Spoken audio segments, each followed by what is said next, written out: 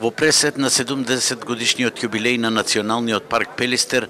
денеска во фајето на Центарот за култура во Битола е отворена изложба на фотографии со пейсажи и мотиви од овој планински убавец на доајенот на битолското новинарство и фоторепортерство Петар Ставрев со наслов Убавините на Пелистер. Со ова изложба во која се поместени 100 фотографии на пейсажи од пелистерските вертикали, Ставрев како долгогодишен планинар заокружи бројка од 50 фотоизложби во кои го вгради својот репортерски ракопис. Предстојувајќи низ повеќе планини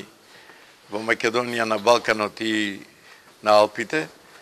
концептирав одреден број фотографии за изложба,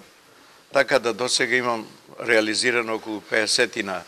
изложби на тема убавините на планините, посебно на Пелистер,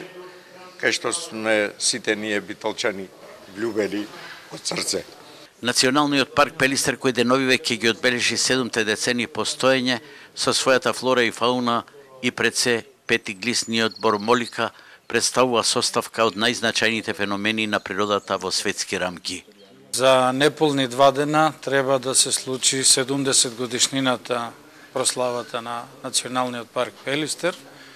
кој во далечната 1948 година беше прогласен за прв национален парк на тогашните простори на бившата Југославија, но и пошироко. Тој е 13-ти прогласен парк во Европа после Втората светска војна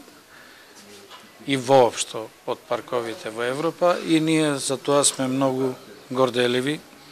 затоа што нашиот град и нашата околина го има токму Пелистер.